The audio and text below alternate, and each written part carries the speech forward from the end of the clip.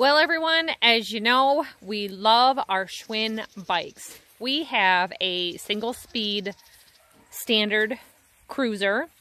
We have three of the green cruiser fours. This is my cruiser four in red.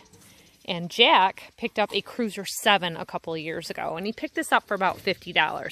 Now, the thing about these Schwinns is these are authentic Schwinns, and just to show you up close here, it will have this Schwinn label on it, and there is a serial number stamped into it.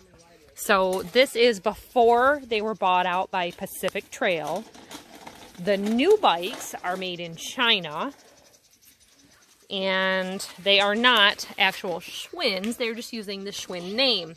So they're using this sticker or something like it here on the front, and there is no value to those bikes. So we bought this bike when we knew that they weren't going to be making them anymore after he'd bought this bike. I had a teenage daughter and we wanted to make sure we had a good bike for her and then the boys came along so we started finding more. This Cruiser 7, when we got it, didn't have a nut on it. We found out they probably were having some trouble with it.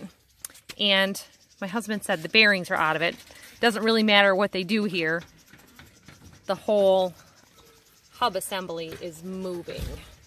So we're going to take this apart and see if we just need um, the hub or the bearings also and we're going to get into a repair because it looks like this is a lot more complex than a Cruiser 4.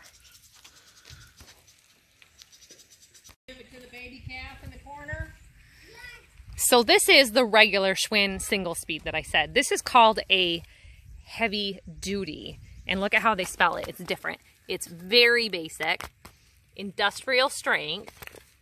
And this is what they use at Mackinac Island for pulling trailers and hauling luggage from the docks to the hotels.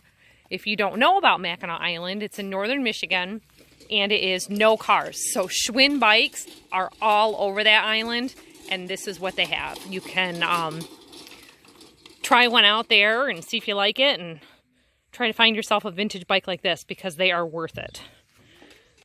See how it's got two beams? Yeah. And they, the spokes are thicker. See how the how, how fat the spokes are? Okay, so he's telling me to point out to you that it's got heavier spokes than on the other. It's got a double beam and the hub is bigger. Yep. So let's go over here and go look at the difference on this. Yeah, they're they're way thinner and more delicate. And um, on ours, and they have fender kits for these and all of our baskets are aftermarket that we picked up. We just really like having the baskets. Um, this large basket, you can fit a gallon of milk on each side, which is really great because you can go to town, which we've done before. Um, go get car parts and then put them in the trailer. Now on his, it's it's quite small. On the Cruiser 4, it's very large, but it's just a different uh, back end because of it being speeds. Yeah. Yeah, coaster brake only, single speed. Mm-hmm. And then this is the female version or girls bike, but we find we like them for the whole family because they're easy to get on and off. You're not having to swing over. When so have a basket, it's way easier to get on the girls' bike. oh yeah, Just get laughed because you don't have to swing your leg over so much. Just step into it. But they're real great. Bethany's doing a cleanup job here. And this bike, we got to pick up some SOS pads and steel wool because it's been around since 98 or 99. This needs a. This Um, needs 97. 25 years old. Or it was built in 97. Yeah. And I think my bike we got in 99. But it got ridden to work and back. Oh, in the wintertime, everything. He even had, Even, even in the winter. uh, he'd even uh, bought studded winter tires for it and then never put them on because he was riding it in the winter too.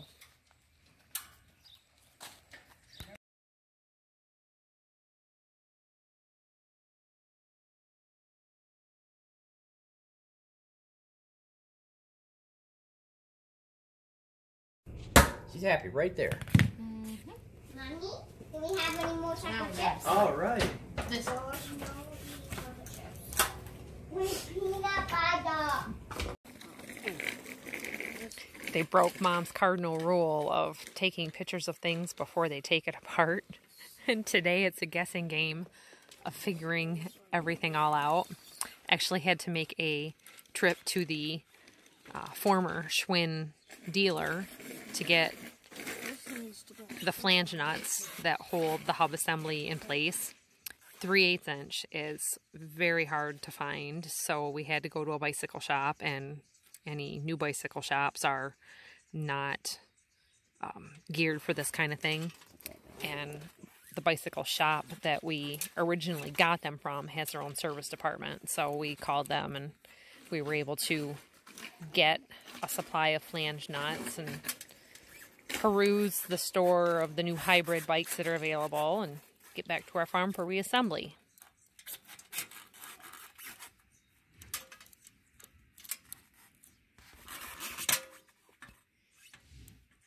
Okay. Is it supposed to have washers in between? Um, It's probably good. oh yeah, so I ordered it.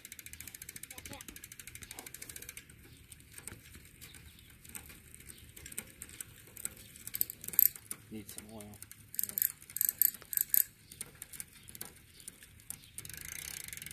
It's running. I think it's your shifter. Yeah. That clicking is it's just kind of over trying to run up on this next sprocket. That's what that. Whoop.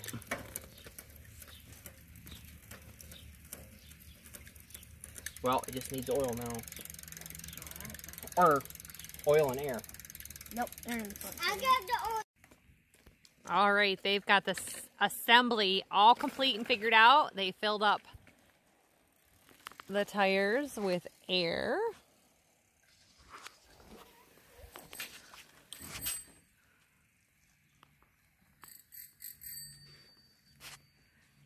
And now we've got another Schwinn bike all put back together and going.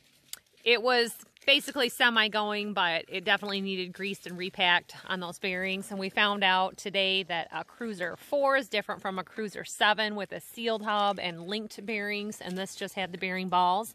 And then the um, Heavy Duti, still yet another different style. So everyone's out on their bikes.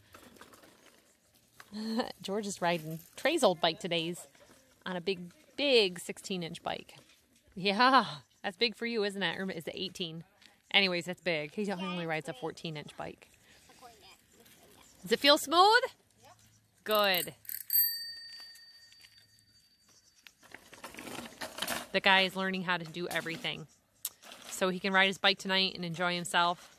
And in the meantime, while we're riding bikes and enjoying ourselves, you can go over to the playlist. You can watch anything you want. You can watch farming videos, home repair videos, do it yourself videos, and we'll see you on the next video. See you next time. Bye bye.